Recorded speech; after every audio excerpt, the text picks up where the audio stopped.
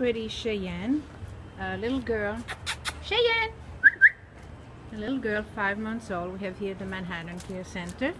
Uh, she ate a little bit of roast beef. She likes food, of course. She likes other dog. She immediately did her pee-pee there and her poopy there. Now, to tell you that she is house trained, of course, we cannot say that. But, you know, she, it means that if you feed her, you go out, she will do, and then she will learn uh, to be house trained and do outside the home. Very, very pretty, and you know, believe it or not, again, she is a stray. She's well made. Uh, she's a beautiful coat. She's healthy. She has a great weight, and she's really adorable. She's a friendly character, very friendly character. Not crazy, not jumping all over.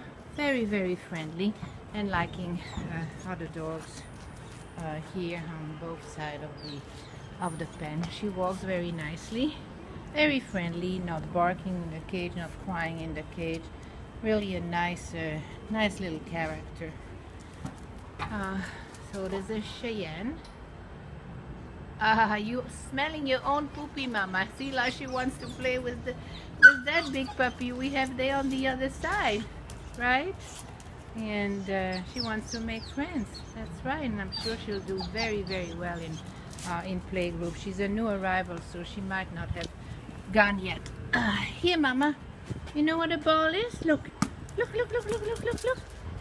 She's running after it, but I don't know if she knows how to play. Right, right, Cheyenne? Yes, so pretty.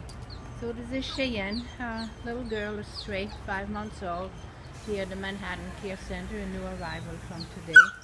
Uh, Cheyenne.